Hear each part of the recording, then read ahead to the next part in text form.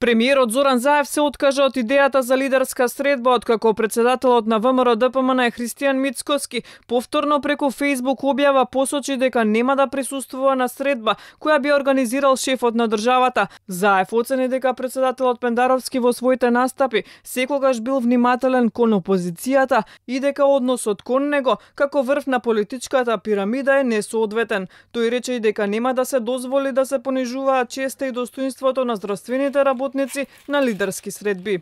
Јас не се согласувам воопшто со овие прашања, заради тоа што владата покажа пример на пријателство и предходната и ова, продолжува да гради пријателство, покажа дека ги има своите црвени линии и апсолутно никогаш не ни помислува да погази било какви интереси. За жал не успеавме да ја добиеме првата меѓувладена конференција, која што верувам дека час поскоро ќе можеме да ја добиеме.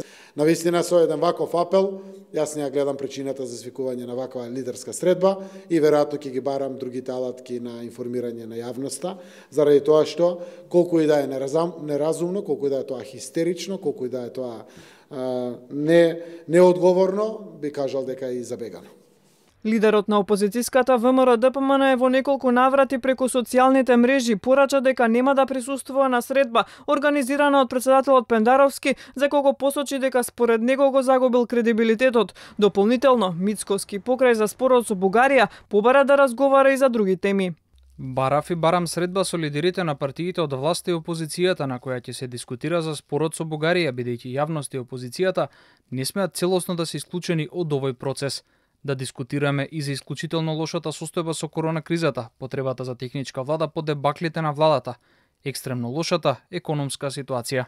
По денешниот исход останува неизвестно дали опозицијските пратеници од редовите на ВМРО ДПМН ќе присуствуваат на годишното обраќање на шефот на државата Стево Пендаровски во собранието, закажано за утре на пладне.